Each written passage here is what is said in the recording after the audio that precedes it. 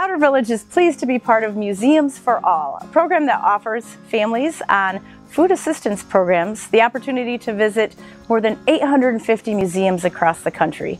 New this season, families who have a SNAP EBT card can present it at our admissions desk and they'll pay only $3 for admission to Sauder Village for up to four people.